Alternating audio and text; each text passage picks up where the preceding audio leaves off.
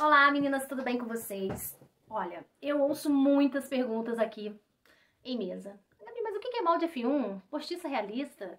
O que é crigel? Fibra? É de vidro? Então, é muitas perguntas. E hoje eu resolvi trazer pra vocês aqui, tá? Pra vocês verem. E eu vou explicar um pouquinho, eu vou passar um pouquinho por cima do que elas são, tá bom? Vamos lá. Vocês vão ver.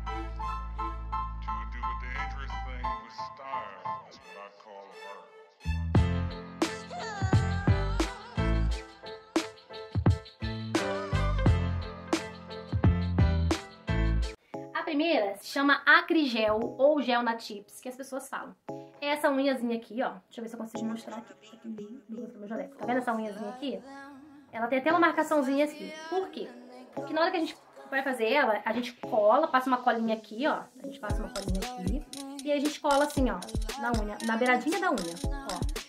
Aqui, ó. A gente cola na beiradinha da unha, tá? Aí a gente cola aqui na beiradinha da unha e aí vira um extensor. Todos eles são extensores, tá? Então eu vou te explicar.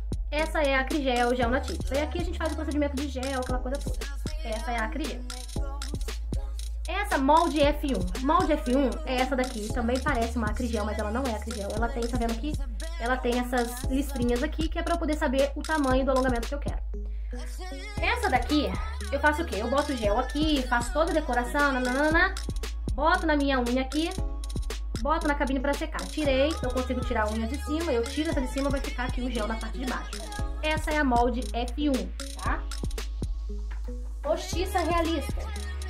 A postiça realista é essa daqui, uma postiça que todo mundo já sabe.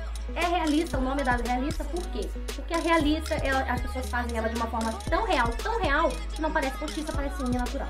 Ou um alongamento, tá bom? E tem também a postiça no gel, que agora aí é uma moda também aí, que tá saindo aí, uma tendência, tá? Eu vou trazer um vídeo fazendo cada uma delas pra vocês verem. Tá. Gabi, o que que é fibra de vidro? A fibra de vidro, ela vem assim, ó. Ela vem em metro, tá? Ela vem em metro, ela vem desse jeitinho aqui. E a gente vai lá e faz o quê? A gente corta um pedacinho dela. Eu acho que eu já até tenho aqui, vou mostrar pra vocês. A gente corta um pedacinho dela e abre a fibra. E aí ela fica igual um, tipo um, uns pelinhos, sabe? E é isso aqui, ó. Tá vendo? É igual um pelinho. E a gente bota o gel aqui, bota aqui a fibra, aí organiza ela aqui, a gente coloca assim, ó. Aí organiza ela direitinho aqui, passa o gel, nananã, e faz aqui o procedimento. Essa é a fibra de vidro, tá bom?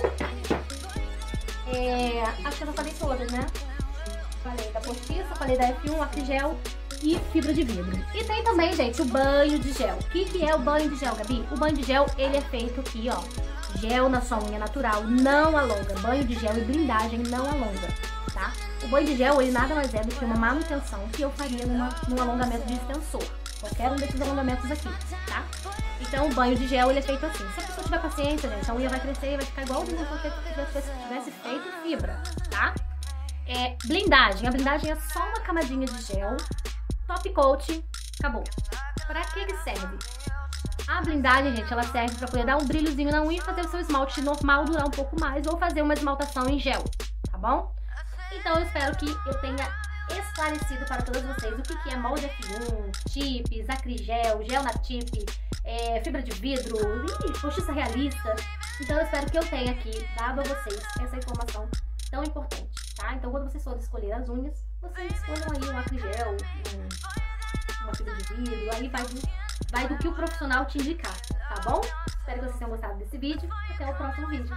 Ah, não esqueça de curtir, compartilhar, ativar o sininho, tá? E se inscrever aqui. Beijo!